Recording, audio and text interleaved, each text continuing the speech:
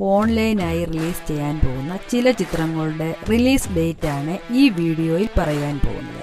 ജയസൂര്യയുടെ സൂഫിയും സുജാതയും എന്ന ചിത്രവും ഈ ലിസ്റ്റിലുണ്ട്.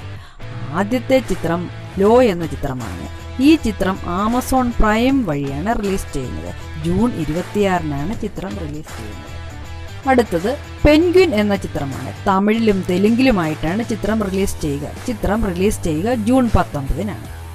അടുത്തത് ഫ്രഞ്ച് ബിരിയാണി എന്ന ചിത്രമാണ്. ഈ ചിത്രം ജൂലൈ ഇരുപത്തിനാലിനായിരിക്കും എത്തുക. അടുത്ത ചിത്രം ജ്യോതിക നായികയായി വന്ന പൊന്മകൾ വന്താൽ എന്ന ചിത്രമാണ്. മെയ് ഇരുപത്തിയൊൻപതിനാണ് ഈ ചിത്രം റിലീസ് ചെയ്യുക. ആമസോൺ പ്രൈം വഴിയാണ് ചിത്രം റിലീസ് ചെയ്യുക. അടുത്തത് ഗുലാബോം സിത്താബോം എന്ന ചിത്രമാണ്. ജൂൺ പന്ത്രണ്ടിനാണ് ചിത്രം ആമസോൺ പ്രൈം വഴി റിലീസ് ആവുക അടുത്തത് മലയാളത്തിൽ നിന്നും ആദ്യമായി ഒ ടി ടി റിലീസാകുന്ന ചിത്രമാണ് സൂഫിയും സുജാതയും. വിജയ് ബാബുവാണ് ചിത്രം നിർമ്മിക്കുന്നത്. ചിത്രത്തിന്റെ റിലീസ് ഉടനെ ഉണ്ടാകുമെന്ന് വിജയ് ബാബുവിന്റെ ഫേസ്ബുക്ക് പോസ്റ്റിലൂടെ അറിയിച്ചു.